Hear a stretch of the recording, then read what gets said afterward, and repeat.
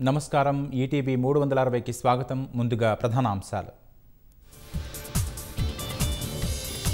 ఇరవై మూడు మంది సీనియర్ల లేఖపై సిడబ్ల్యూసీలో రాహుల్ ఆగ్రహం. భాజపాతో కుమ్మక్కైనట్లు భావించాల్సి వస్తోందని తీవ్ర వ్యాఖ్య. రాహుల్ వ్యాఖ్యలపై స్పందించిన కాంగ్రెస్ సీనియర్లు నిరూపిస్తే పార్టీకి రాజీనామా చేసేందుకు సిద్ధమన్న ఆజాద్.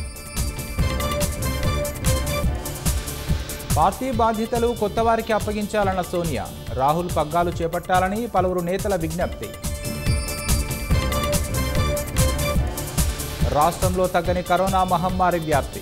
కొత్తగా పద్దెనిమిది వందల నలభై రెండు మందికి సోకిన వైరస్. దేశంలో అంతకంతకు కోవిడ్ వ్యాప్తి. అరవై ఒక్క వేలకు పైగా కొత్తగా కేసులు ఎనిమిది వందల ముప్పై ఆరు మంది మృతి. నెల రోజుల్లో వరంగల్ నాలాలపై ఆక్రమణలు తొలగిస్తాం. పేదవారికి ప్రత్యామ్నాయాలు చూపుతామన్న కలెక్టర్.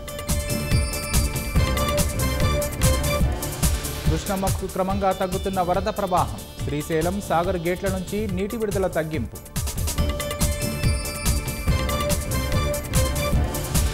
గుజరాత్ రాజస్థాన్ను ముంచెత్తుతున్న భారీ వర్షాలు. వరదలతో అతలాకుతలమవుతున్న పలు ప్రాంతాలు.